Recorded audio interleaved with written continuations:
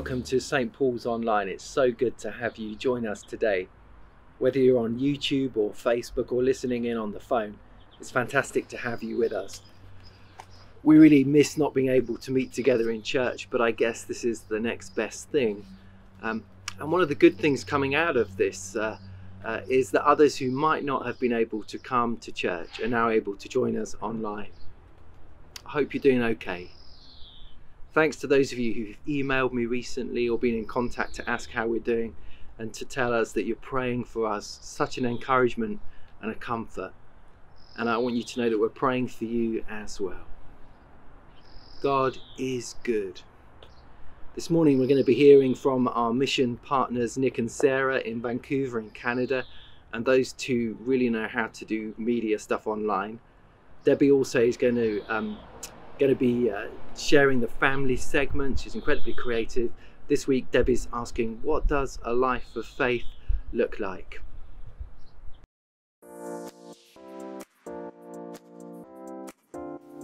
Hello, St Paul's. Our thoughts and prayers are with you always, but especially during this season. Uh, we're so thankful for your ongoing prayers and support as we head towards planting a new church here on the west coast of Canada. It's a real joy for us to be able to bring you a quick update. Yeah, so we can hardly believe that it's been almost a year since we emigrated and God has been so faithful to us over that year and we are committed to launching Numa Church this September. Recently we've seen increased engagement in our community, especially on social media, and since the pandemic began, we've been able to be a voice of hope to our city, again through social media, but we've also been able to partner along with other local churches with an organisation called the City Dream Centre, and we've helped them pack and deliver 2,000 food hampers to those most in need. Yeah, we've also started building our launch team, but in reality, these are hard times for everyone. And they're certainly challenging times to be starting a church in. So this season would have involved some physical interest meetings for us and we've had to shift that to online. So about two weeks ago, we hosted our very first online interest party uh, live on YouTube where we shared our heart and vision and we invited people to partner with us through prayer, through giving and primarily by joining our team. We're going to be doing another one of those uh, in about a week's time on Friday the 22nd of May. Uh, we'd really appreciate your prayers that we connect with the right people and that God will add to our launch team through that. Yeah, we're also preparing a fundraising campaign towards our actual launch budget. Now, a lot of the financial support we've received so far has enabled us to live here for the last year. We've been able to lay the foundations, we've undertaken training, and we're building the groundwork. But we're now entering a season of needing to purchase all the equipment and licenses, as well as investing in the community outreach and essentially advertising the launch. Now, some of your giving has gone, will go into that continually, but yeah, we need to raise some more. Now obviously with the COVID-19 pandemic, we don't know exactly what launching in September is going to look like. Um, like you, we're getting regular updates from our government. It's likely that we're going to see some restrictions being lifted, but it's unlikely that we're going to be able to have large gatherings uh, this year. And so we're currently trying to strategize as to what that's going to mean for us and how it might work for us. Almost certainly, we're going to have to establish online services, and that means a whole new set of considerations for us in terms of different equipment and also how we can effectively establish community and invite people into relationship with Jesus. Yeah, so we just want to thank you again for all your prayer and support. And three ways we particularly appreciate prayer at this time is that God would build our launch team, that He would release the finances we need to set up the launch both online and physically as soon as we are able, and that we could that He would give us wisdom and direction we need to launch well in the circumstances we're all facing. So if any of you would like to know more, you can visit our website at numa.church or find us on Facebook or Instagram at numachurchca. God bless you.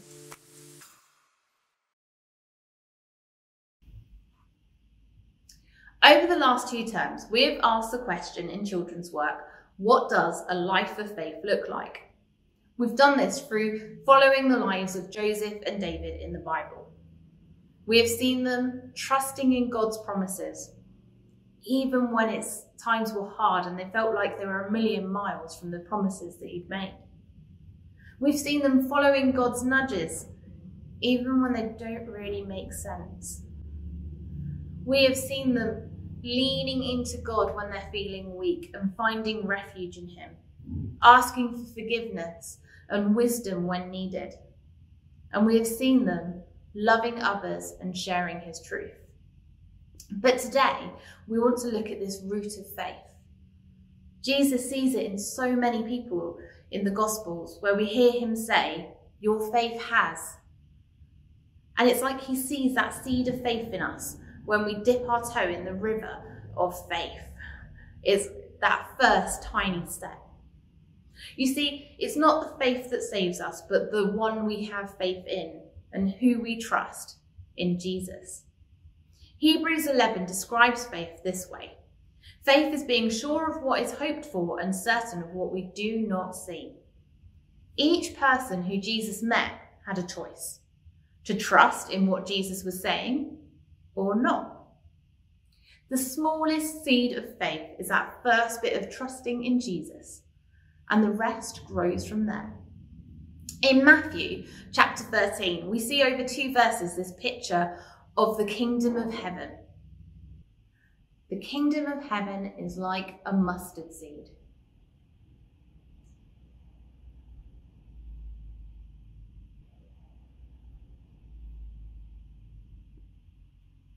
Which a farmer plants in a field.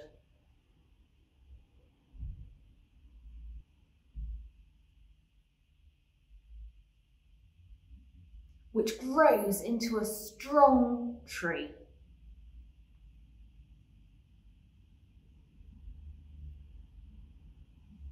in which birds find shelter. The parable shows how small things grow in the kingdom. And we've seen how Jesus' work started off so small, but then it's here, enduring today. It has lasted so long and grown so much. But also, the kingdom grows in us, and it starts with a small seed and grows so that others are affected by it when a seed is nurtured, it will grow. When we walk with the one we trust, it will grow. So whether your faith is a seed, a shoot, or a fully grown tree, know that when you trust and hope in Jesus, it will endure. Because when we allow the farmer, when we allow Jesus to help us along life's road, he will be there and nurture us so that our faith will grow in this muddy journey of life. Thanks, Debbie. Let's now turn to worship, which today is led by Sam. Psalm 147 says, Praise the Lord. How good it is to sing praises to our God. How pleasant and fitting to praise Him. And that's what we're going to do right now. No matter what's happening in our lives or what's going on in the world, we can take comfort that God is in control. He loves you. He's with us. So let's pray. Lord, we welcome you today in our homes, wherever we are, watching or listening. We say, Welcome, Holy Spirit. Come and meet with us now as we join together in worship and lift up the name of Jesus. Amen.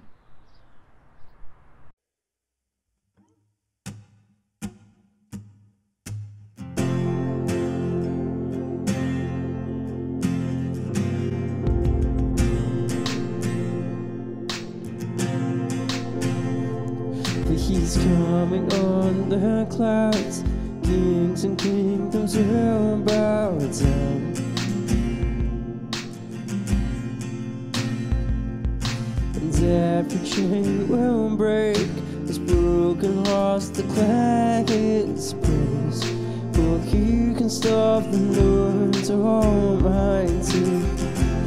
The good is the lion, the lion of Judah. He's roaring with power and fighting battles, and every knee will bow before him. The good is the Lamb, the Lamb that was slain for the sins of the world. His blood breaks the chains, and every knee will bow before the Lion and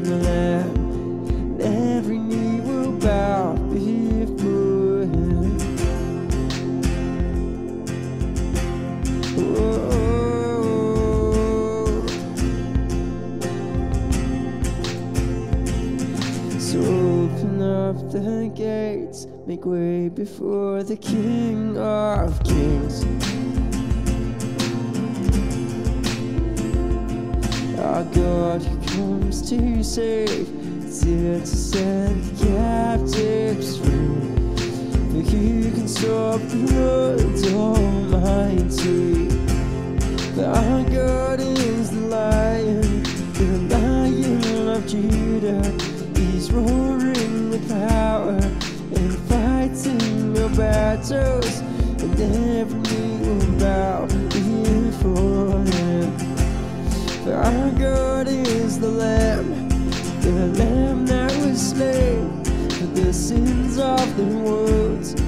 His blood breaks the chains, and every knee will bow before the Lion and the Lamb.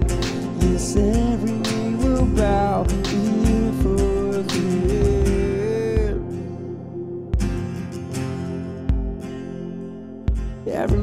every tongue confess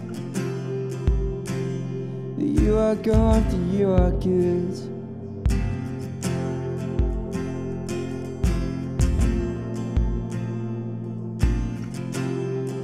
For who can stop? For who can stop the Lord Almighty? For who can stop the Lord Almighty? For who can stop the Lord Almighty? For who can stop the Lord Almighty? For who can stop the Lord Almighty? For who can stop the Lord Almighty? Oh, oh, oh. who can stop the Lord Almighty? Can stop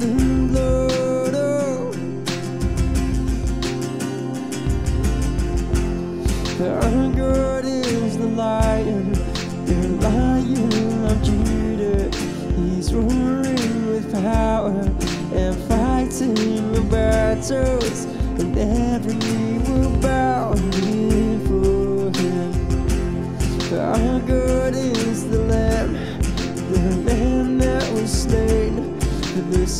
of the world. His blood breaks the chains, and every knee will bow before the Lion and the Lamb. Yes, every knee will bow.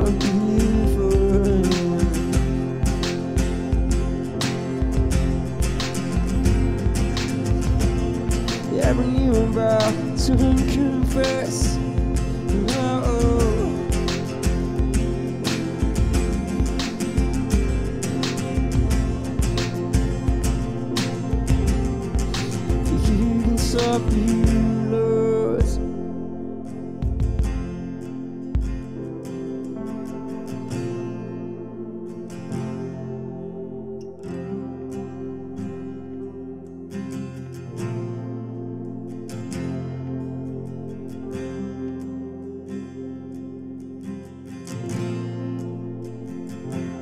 Stop you,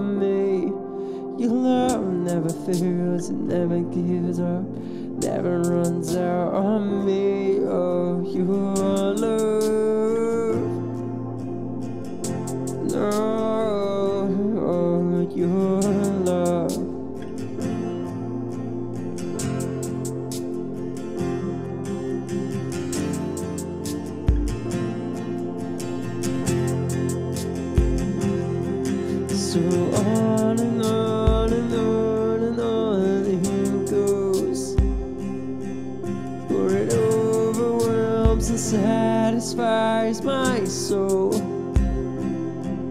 And I never ever have to be afraid. Cause one thing remains. Only one thing remains in your love. But your love never fails and never gives up, never runs out on me. Your love never fails never gives up, never runs out on me. Your love never fails never gives up, never runs out on me. Oh,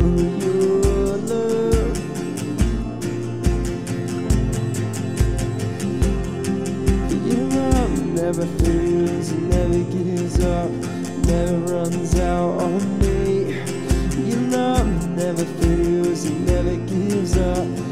runs out on me. Your love never and never gives up, never runs out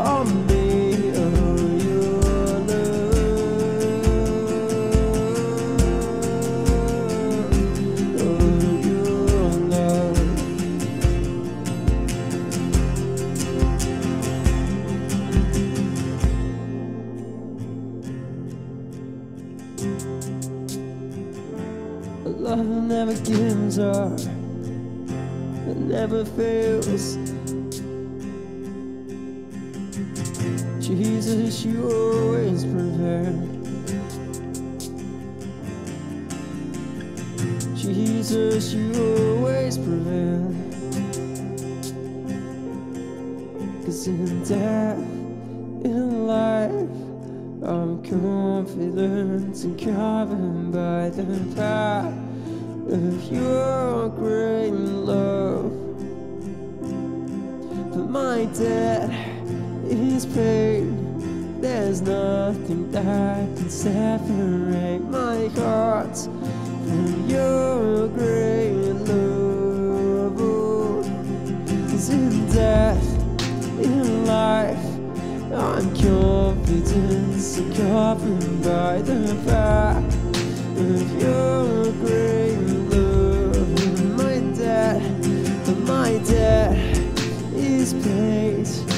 There's nothing that can separate my heart from your great love. Your love never fails, it never gives up, never runs out on me. Your love never fails, it never gives up, never runs out on me. Your love never fails, it never gives up, never runs out on me.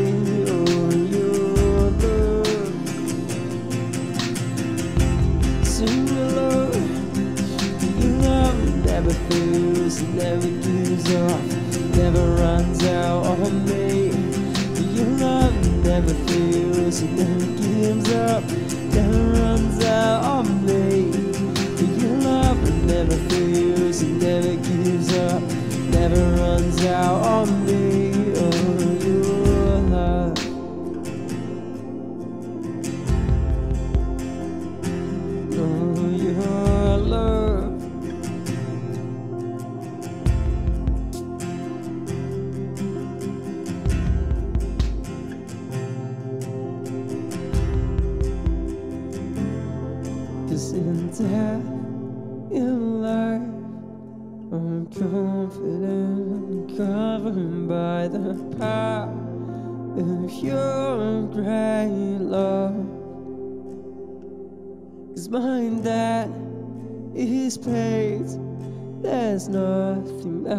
Can separate my heart from your great love. From your great love.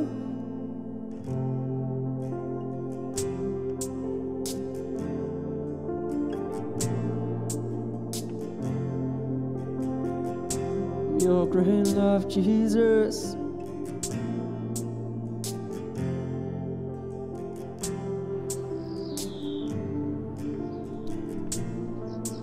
Thanks, Sam. It's so good to worship together.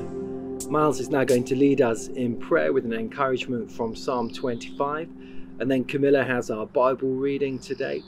And after that, Forest is going to bring us the next message in our teaching series on Romans. And today we're looking more deeply into uh, practically what it means to let our identity be shaped by Jesus. And we're going to think about the significance of baptism and what that means for us. But first, let's turn to prayer, and I'll hand over to Miles. Good morning. In Psalm 25, David says these words To you, O Lord, I lift up my soul. In you I trust, O my God. And then he says, No one whose hope is in you will ever be put to shame. And as we come together in prayer this morning, let's remember that if we trust in God, we won't be ashamed or disappointed. We're going to start by praying for our church family at St. Paul's.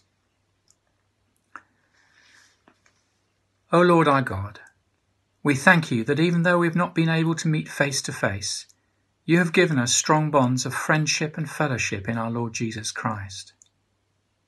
We pray that as the social restrictions begin to loosen, that those bonds will be refreshed and strengthened, and that any loneliness or discouragement will be lifted. At the same time, help us to avoid unnecessary risk and protect those who are vulnerable amongst us. We, pe- we particularly remember this morning those amongst us who have been sick or bereaved, and we lift them before you now.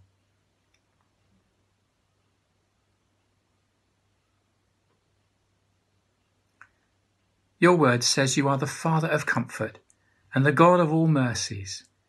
So we pray that you will pour into their hearts and minds your peace and your comfort. Amen. Every Sunday we remember in prayer uh, one or other of our mission partners, uh, those who have gone out from amongst us to serve God in different parts of the world. Today we're going to pray for Nic and Sarah Arkley and family who are working in Vancouver in Canada. Thank you, Lord, for the video news that Nic and Sarah have shared with us today. We thank you for the many ways you have provided for them so far, and we ask you to guide and bless their endeavours to share the gospel and plant a new church. Please bring people to life changing faith in Jesus through this work please pour out your Holy Spirit upon them. Amen. We're all very much aware at this time how much our nation needs God's mercy and help. In days gone by, they may have asked for a, day of national prayer, and it seems that may be unlikely to happen.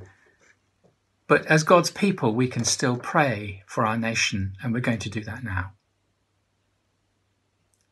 Father God, we are saddened that our country has been so badly hit by the coronavirus pandemic, and we feel for those who have suffered, whether by illness, bereavement, or loss of livelihood.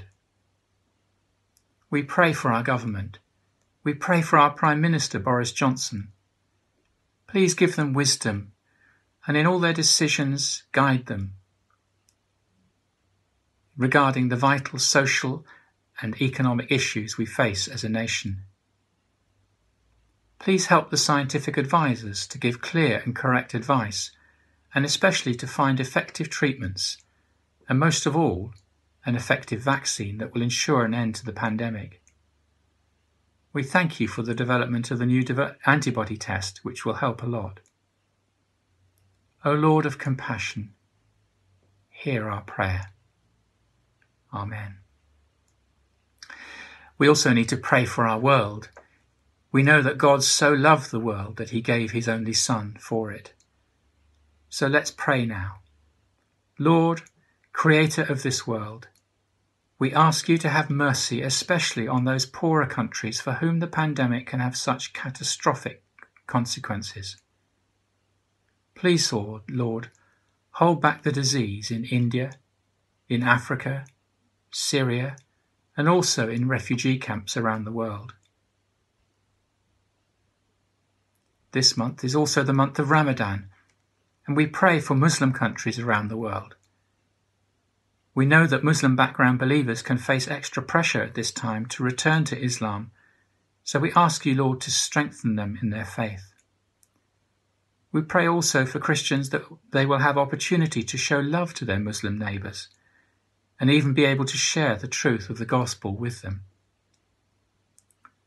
Lord Jesus, to Muslims who are seeking you, we pray you will reveal yourself in dreams and visions and help many more to learn about you on social media and on the internet.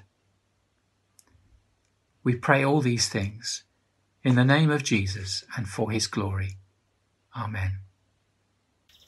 Today's reading is Romans chapter 6, verses 1 to 14. What shall we say then? Shall we go on sinning so that grace may increase?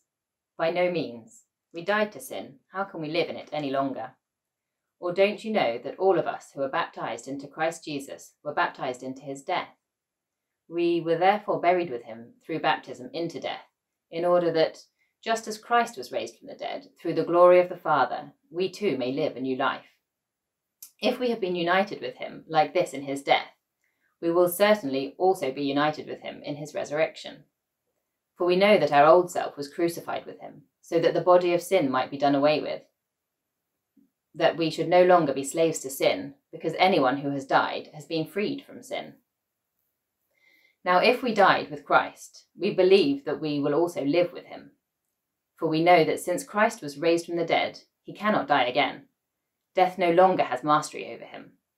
The death he died, he died to sin once for all. But the life he lives, he lives to God. In the same way, count yourselves dead to sin, but alive to God in Christ Jesus.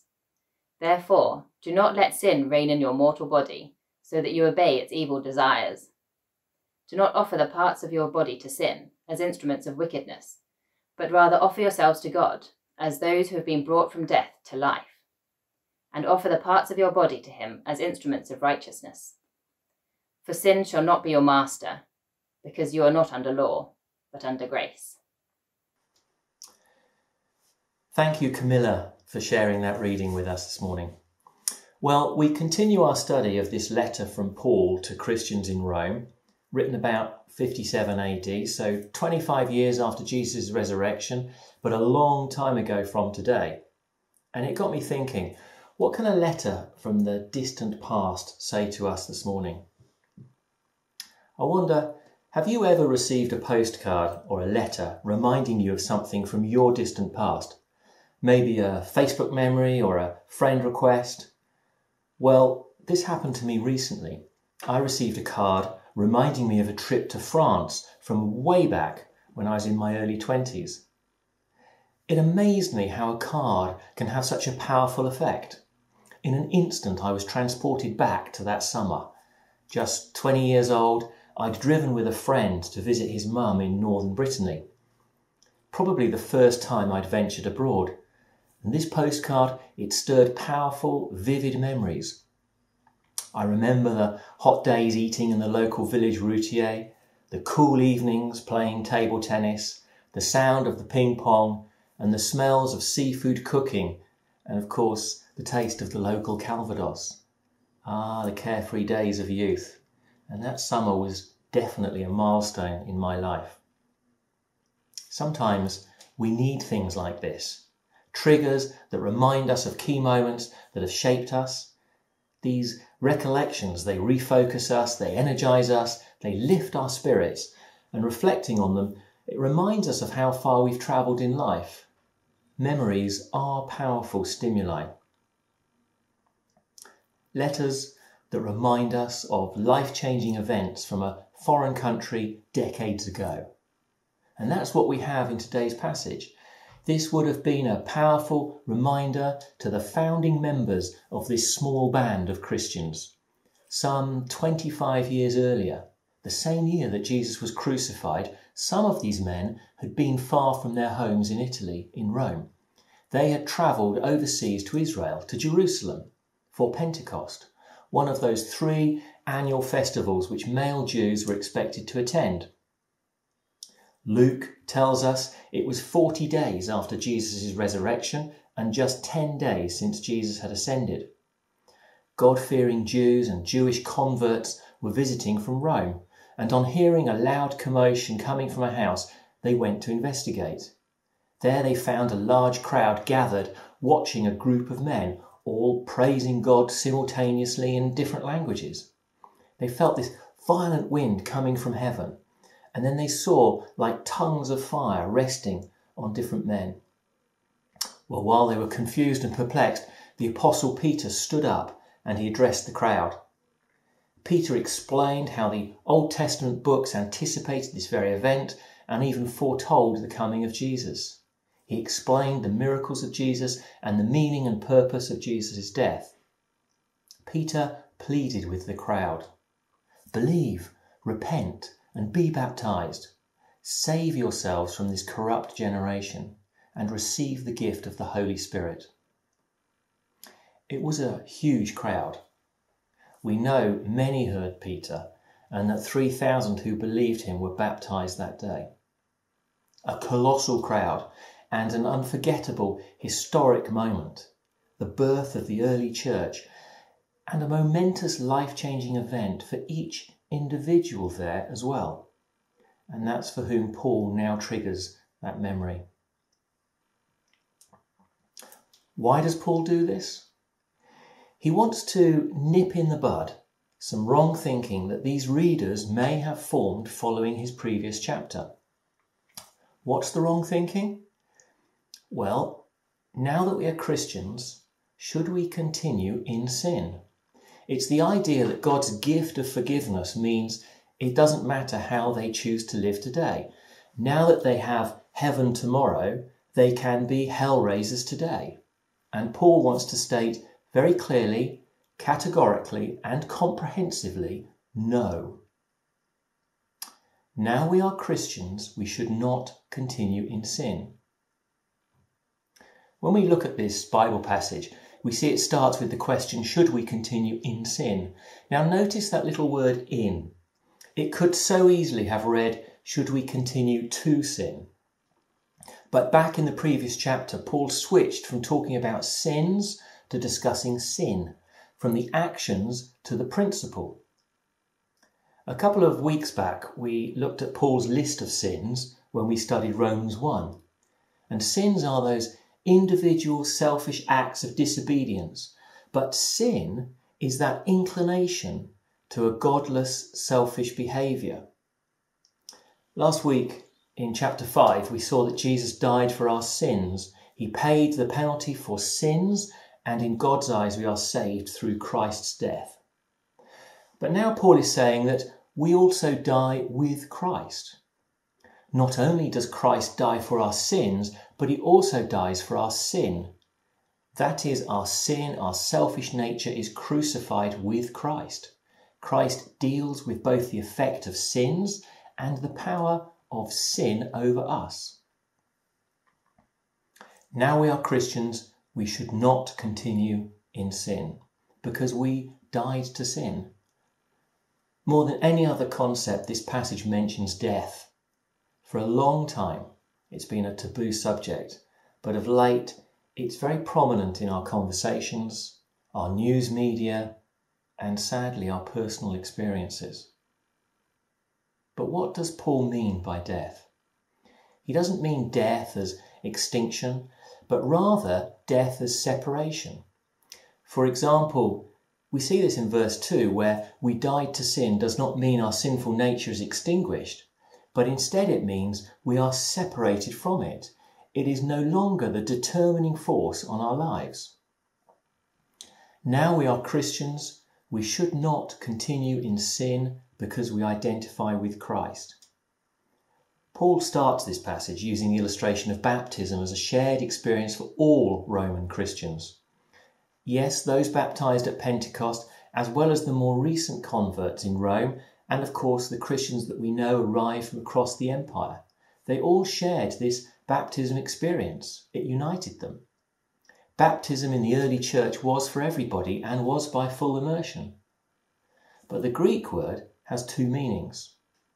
The first meaning, the literal meaning, is to dip or immerse, The water baptism is an act of obedience and a public declaration of a profound life change.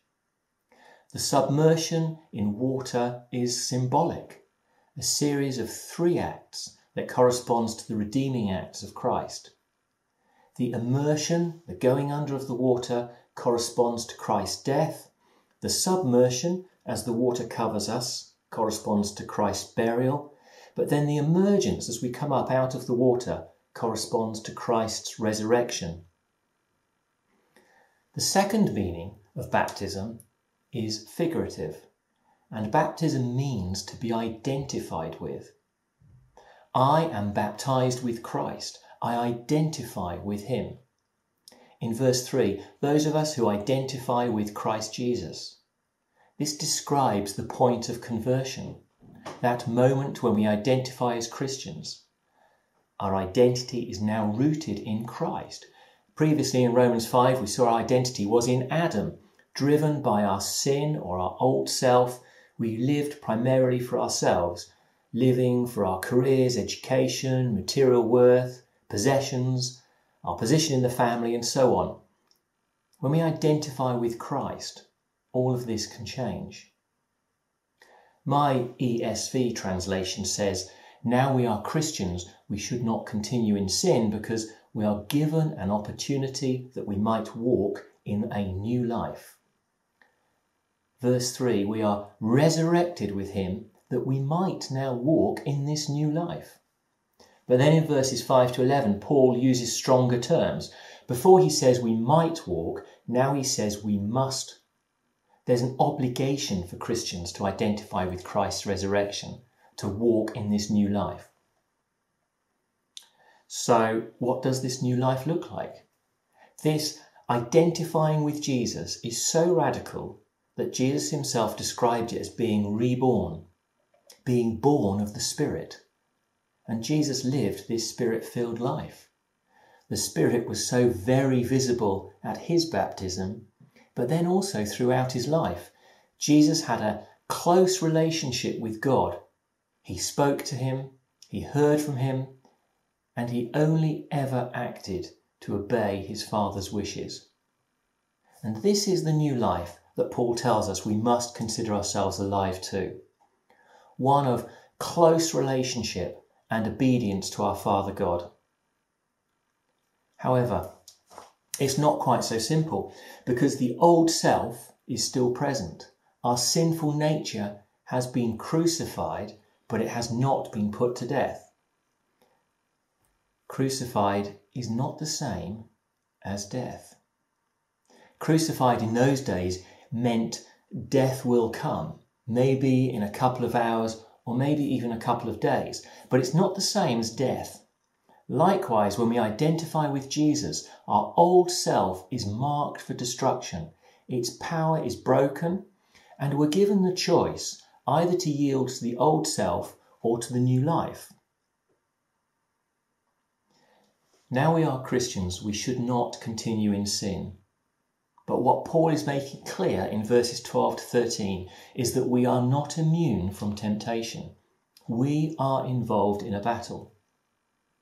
It's still possible for the believing Christian to allow the old self to determine their thoughts and actions.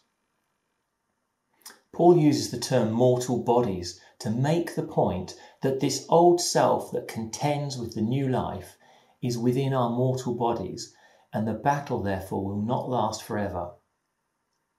The NIV translation describes us as instruments, but other translations refer to weapons, and the battle imagery is consistent with Paul's other letters. Later in Romans, he will write of putting on the armour when writing to the church at Corinth, he writes of the weapons of righteousness and of the weapons that we are that are not of this world. And of course, we all remember the Ephesians 6 passage which lists the armour of God. The readers in Rome were involved in a personal battle, and each one of them was very much part of the battleground. In that conflict, either they operated as weapons of wickedness or weapons of righteousness. But Paul offers no middle ground. There is no place for neutrality. There was a battle in Rome. And the battle for those Christians in the first century Rome would have been to maintain their faith against an overwhelming opposing culture. Rome was the capital of the powerful Roman Empire, had a global presence, ruling a fifth of the world's people through its military might. Rome's enormous economic power came through taxation and trade. Rome's religion had many gods. From an initial array of their own gods and spirits, Rome added the Greek gods and the foreign cults from its conquered territories. In Rome, temples were everywhere. The worship of gods was an integral part of Roman life. Caesar himself was considered a god. Citizens had to worship Caesar. The rule was as long as you worship Caesar, you could have your own gods too. Caesar Augustus was born a decade before Jesus, and this Caesar was heralded as the beginning of the good news. He was called the Son of God, bringing peace for the world. So, no wonder then that Christian believers claiming Jesus as the one true Son of God and the Gospels as the true good news would clash so violently with the culture of Rome. There was a battle in Rome, and there is a battle at home.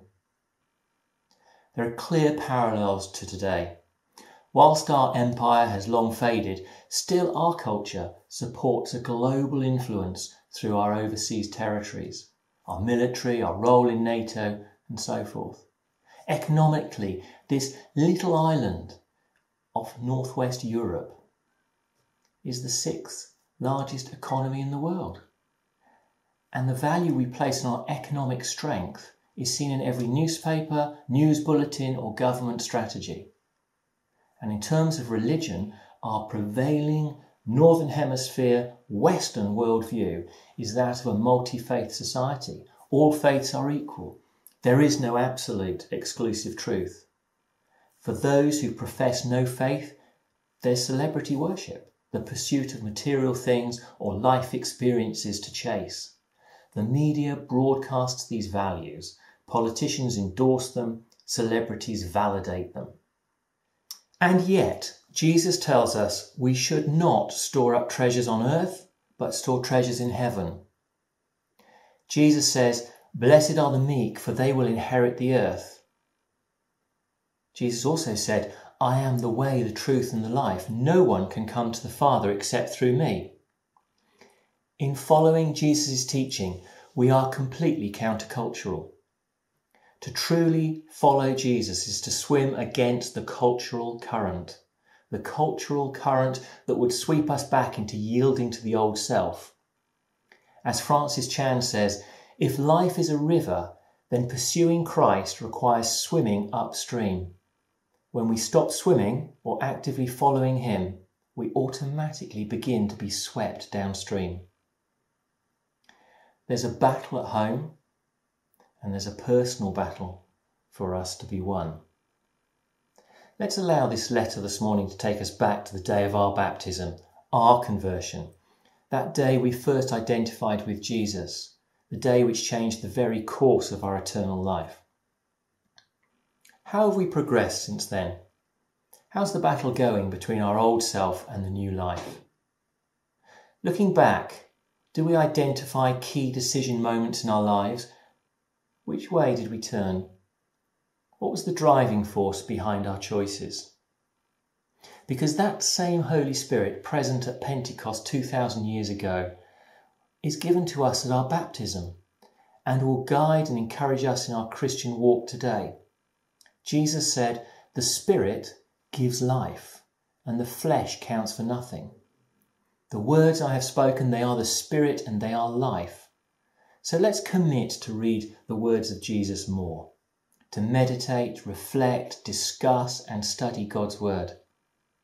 Let's commit to prayer, asking for the Spirit to guide us, and take a quiet moment to listen to the Spirit's prompting.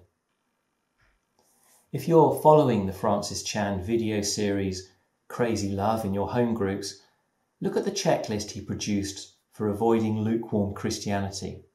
I found it a very helpful guide for practical ways to check the status of my relationship with God. Take care with lists, though, as verse 14 reminds us we live in a relationship of love with God. We are under grace. We do not live in a transactional relationship under some form of legalism. So, to answer Paul's opening question, now we are Christians, should we continue in sin? No.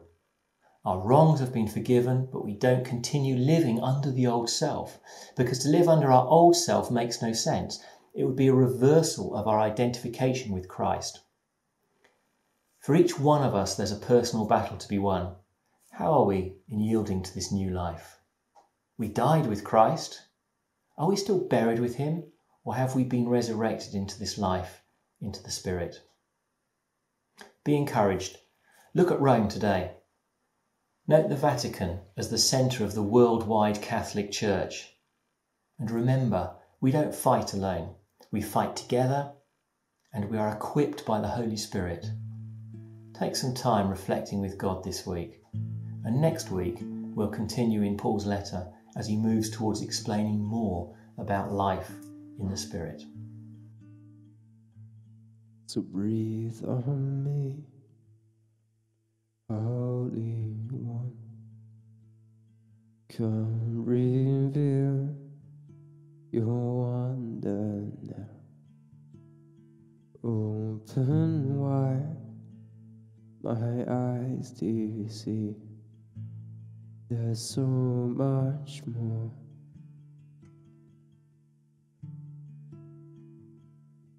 Jesus, you are where it all begins.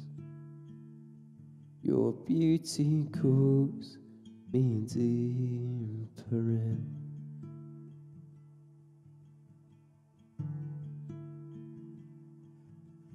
A passion in my heart, God. Let it overflow. Let it overflow. So stir a passion in my heart, God. Let it overflow. Let it overflow.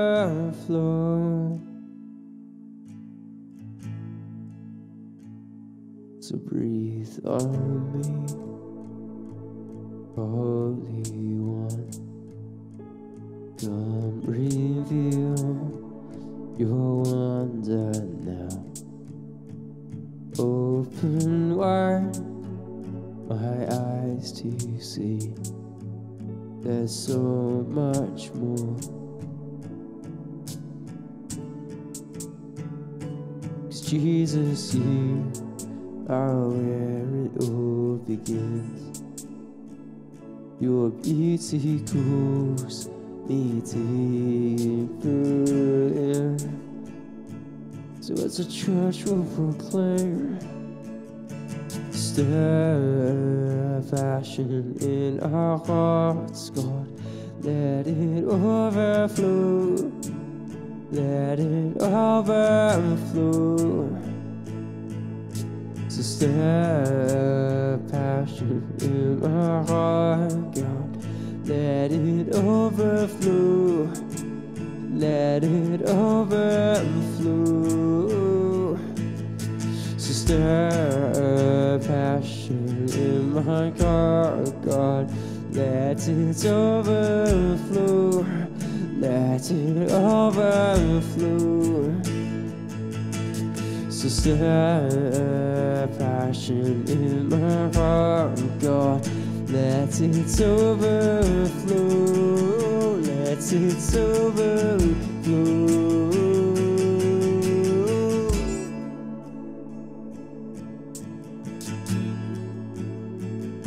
Let it overflow.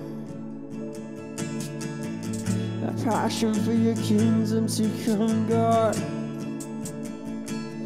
A passion for you to reign.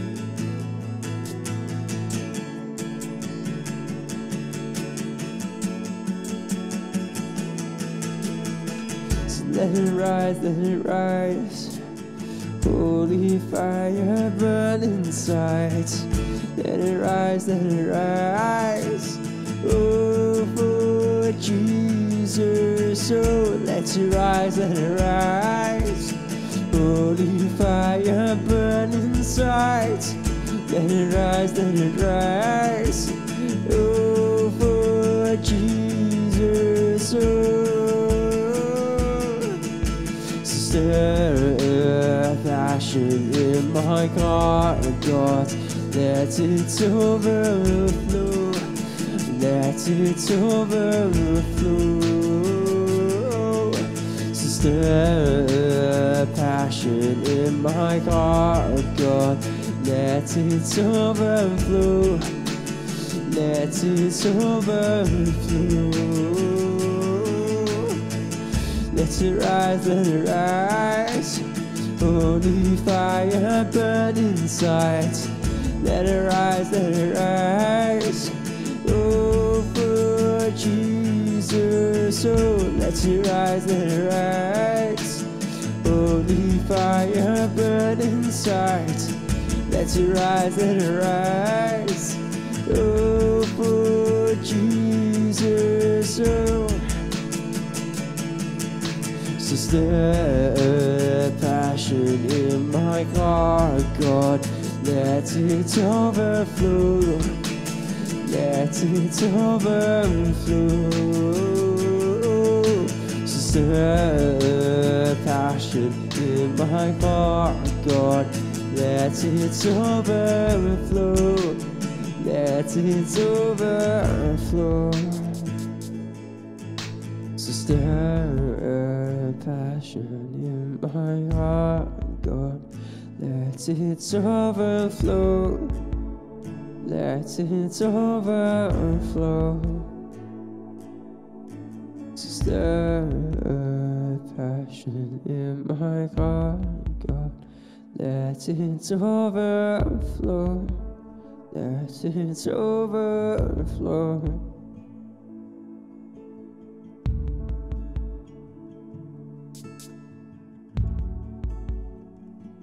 Let it overflow.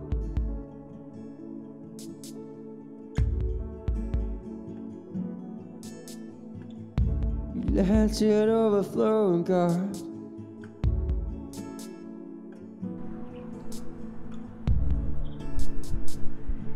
It's so good to be reminded that today we get to make a positive choice. Let me pray. Jesus, today we choose you. We acknowledge that you are the Holy One of God who has the words of eternal life, and there is no other place we'd rather be. We choose new life. We say no to sinful ways of thinking and acting, and we say yes to you. Thank you for the power of baptism and how we uh, can connect with your life, with your death, and with the new resurrection life. And this week, Jesus, we choose to follow you, renew our faith, encourage us, restore hope, reveal to us a deeper awareness of your love. Amen. Thanks so much for joining us today. And we're so thankful for those of you who are able to continue to support the church ministry uh, financially during this time. Details of how you can continue to help are on the church website uh, and, and on the screen. God bless. See you next week.